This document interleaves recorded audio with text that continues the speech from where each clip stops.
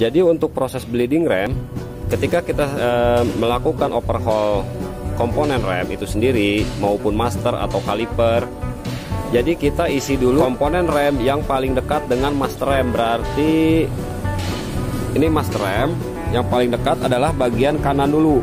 Bagian kanan kita isi dulu. Bagian kanan, kiri, eh, kanan belakang, baru yang terakhir kiri. Nah, untuk membuang angin palsunya atau udara setelah dilakukan pengisian dari masing-masing sisi rem, ini kita buang angin palsu bagian yang terjauh dari master rem, berarti belakang sebelah kiri. Nah, begitu teman-teman ya. Oke, kita sekarang lakukan uh, bleeding remnya dulu. Eh, apa namanya pengisian minyak remnya dulu ya teman-teman ya bleedingnya ini sendiri kita gunakan alat yang sederhana aja ya teman-teman ya. Jadi kita gunakan selang botol kita isi air. Uh, kurang lebih seperempat bagian tapi selangnya di bagian bawah ya teman-teman ya. Tujuannya adalah menjebak udara yang sudah kita keluarkan dari saluran rem supaya tidak naik lagi ke uh, saluran rem itu sendiri. Jadi seperti ini nih kita gunakan selang uh, akuarium lah. Selang akuarium botol bekas kasih air sedikit.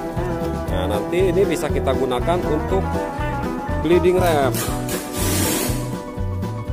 Gitu ya teman-teman ya. Nah sekarang kita lakukan uh, pengisian minyak rem dulu. Jadi bisa minta tolong teman atau kerabat tetangga saudara siapa pun lah yang ada di rumah untuk eh, ngocok-ngocok uh, pedal remnya gitu ya teman-teman ya Kita mulai. Bocok Perhatikan ya teman-teman ya Ini gelembung udara tuh. Ya tunggu sampai minyak remnya benar-benar keluar. Ini masih kosong. Nah tujuan air ini adalah untuk menjebak udara itu sendiri supaya tidak kembali lagi ke atas gitu.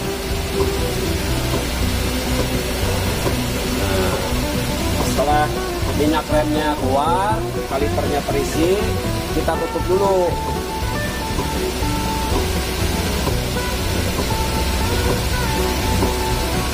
Oke, tahan dulu. Nah, kita pindah ke sisi sebelah kiri ya. Ini belum masuk proses bleeding ya teman-teman ya.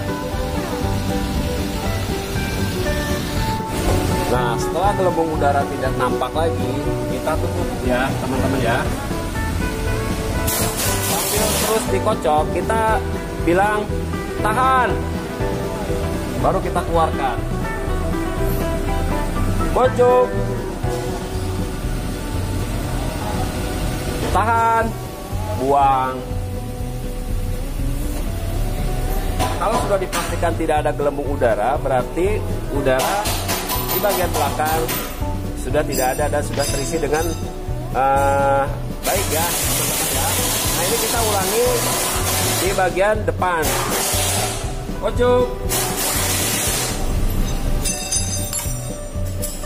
Kita ulangi kebalikannya. Kalau tadi ngisi di bagian paling dekat kalau ngebleeding di bagian paling jauh dan ulangi itu sampai di bagian sisi sebelah eh, depan kanan Oke teman-teman cukup sekian dulu video dari saya Semoga bermanfaat. Kalau suka video ini jangan lupa di like, jangan lupa subscribe-nya. Assalamualaikum warahmatullahi wabarakatuh.